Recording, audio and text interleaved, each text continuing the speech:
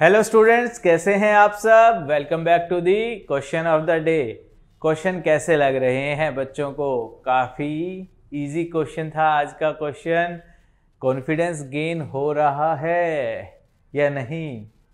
हो रहा है तो बहुत ही अच्छी बात है. निट एग्ज़ाम धीरे धीरे हमारी ओर आ रहा है. हमें भी पूरी तैयारी से निट एग्ज़ाम से भिड़ जाना है. ठीक है? तभी तो क्रैक कर सकेंगे हम नीट एग्ज़ाम को। बात करते हैं आज के क्वेश्चन की। क्या है क्वेश्चन? Protist are. इनमें से प्रोटिस्ट कौन से हैं? प्रोटिस्ट का कौन सा करेक्टर इनमें है? पहले बात करते हैं प्रोटिस्टा के बारे में, क्या चीज़ है? ये टेबल आपने कहीं देखी है? याद कीजिए। ये टेबल हमारी एन e में दी गई है बायोलॉजिकल क्लासिफिकेशन में। ठीक है? और ये टेबल क्या शो कर रही है?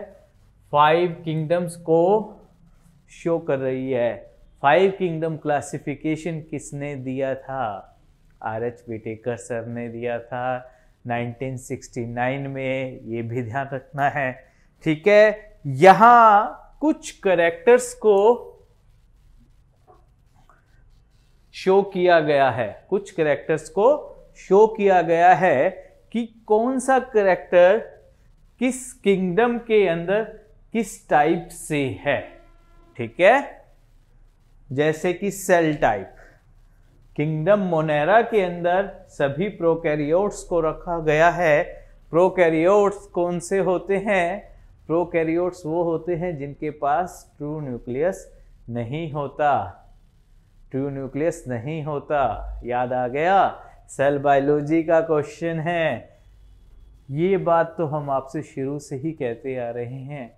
आपस में इंटर रिलेटेड है हर चैप्टर आपस में बायोलॉजी का कोई भी चैप्टर ऐसा नहीं है कि जो आपस में रिलेशन ना रखता हो।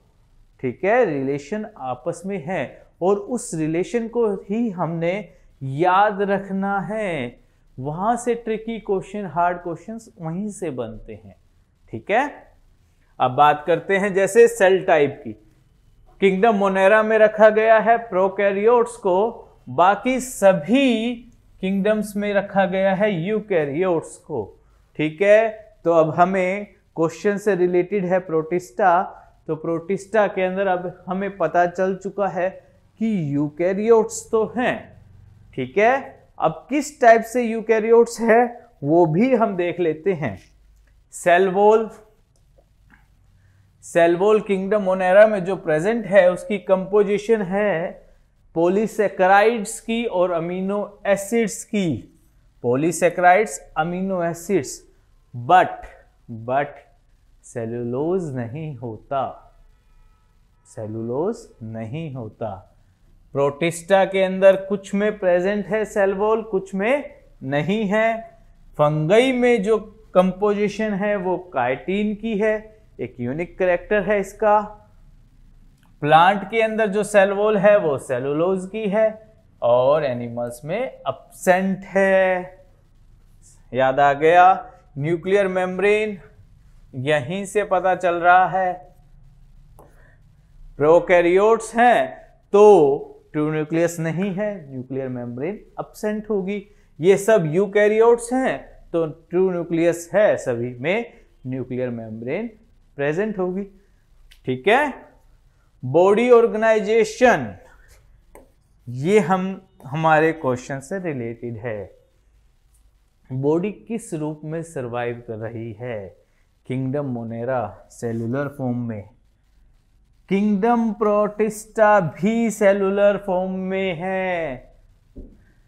सेल के रूप में है, जबकि बाकी आगे जो है multi cellular tissue tissue organ tissue organ organ system इस रूप में सरवाइव कर रहे हैं। और हमारा जो क्वेश्चन है बच्चों, वो डायरेक्ट एनसीईआरटी से है। किंगडम प्रोटिस्टा के अंदर फ़र्स्ट जो लाइन है all single celled eukaryotes are placed under kingdom Protista kingdom Protista के अंदर सभी सिंगल सेल्ड यूकैरियोट्स को प्लेस किया गया है फ़र्स्ट लाइन है किंगडम प्रोटिस्टा की इसीलिए कहा गया है एनसीईआरटी की हर लाइन इंपॉर्टेंट है, उसको याद कर लीजिए मेमोराइज कर लीजिए, समझ लीजिए। एक बार पढ़ने से नहीं होगा। एनसीईआरटी को आपको तीन या चार बार कम से कम पढ़ना होगा और रिवीजन के टाइम पर भी दोबारा से पढ़ना है। ठीक है? एनसीईआरटी को कम से कम आपका निट एग्ज़ाम तक पाँच या छह बार पढ़ लेना है आपने, तब आपको हर लाइन का मतलब समझ में आएगा। समझ में आ गया? एनसीईआरटी से डायरेक्ट क्वेश्चन है। वापिस चलते हैं हमारे क्वेश्चन पर। तो कौन सा ऑप्शन इसमें से करेक्ट हुआ? Option A single cell eukaryotes option A इसका करेक्ट आंसर है। आ गया। समझ में आ गया? कोई भी डाउट हो तो पूछ लीजिएगा। हेजिटेशन नहीं रखनी है। हमें नीट एग्ज़ाम तक हमारे सारे डाउट क्लियर कर लेने हैं। ठीक है? ताकि जब भी हम क्वेश्चन को अटेम्प्ट करें जस्ट हमारा हैंड ऐसे ही चले। अरे, हम बिल्कुल क्लियर हैं कि राइट आंसर यही है। ठीक है?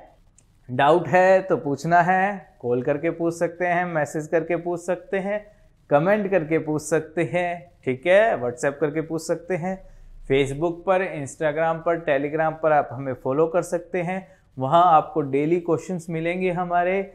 रिवीजन के लिए और साथ ही साथ यूट्यूब चैनल को शेयर एंड सब्सक्राइब कर लीजिए ताकि नोटिफिकेशंस आपको मिलती रहे डेली वीडियोस की और साथ ही साथ नेट से रिलेटेड कोई भी अपडेट होगा, वो भी आपको मिल जाएगा। अपना ध्यान रखना है, अच्छे से पढ़ना है कॉन्फिडेंस लूज नहीं करना है और कंफ्यूज नहीं होना है।